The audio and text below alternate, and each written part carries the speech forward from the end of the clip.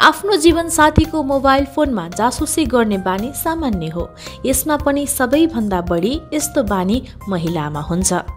University of British Columbia र university of लिजबनको एक संयुक्त अध्ययनले अधिकांश मानिसले आफ्ना साथी तथा जीवनसाथीको फोन चेक गर्ने पत्ता लागेको छ।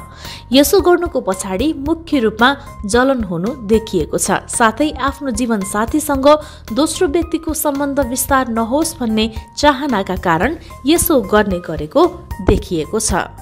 अध्ययनले के देखाएको छ भने अधिकांश मानिसलाई आफ्ना साथी प्रेमी जीवनसाथीले फोन चेक गर्नलाई अनेक रूपमा नियोग खोजे पनि खुर्की लाए पनि उनीहरू यस्तो कुरालाई इन्कार गर्न सक्दैनन्।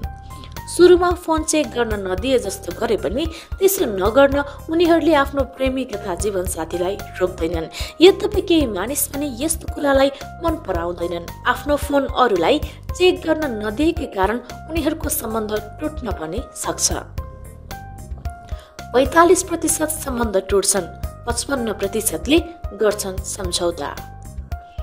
यो अध्ययन सानो रूपमा गरिएको थियो। यद्यपि यसबाट प्राप्त नतिजाले भने सबैलाई चकित पारेको थियो। अध्ययनमा एक सय दुईजना मानिसलाई सहभागी गराइएको थियो। उनीहरूलाई आफ्नो जीवनसाथीले अथवा आफूले फोनमा निगरानी राखेको घटना भन्न लगाइएको थियो।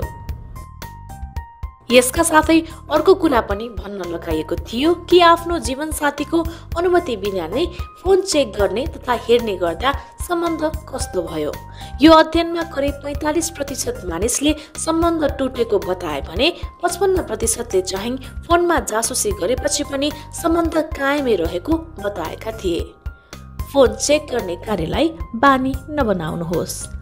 जीवनसाथीलाई जानकारी नदिई उनको फोनमाथि निगरानी राख्दै जाने हो भने समयक्रम बित्दै जाँदा बानीमा परिणत हुन सक्छ यदि तपाईँलाई यो बानी बढ्दै गएमा नियन्त्रणभन्दा बाहिर गएमा यसले थप ग्रसित बनाउनेछ।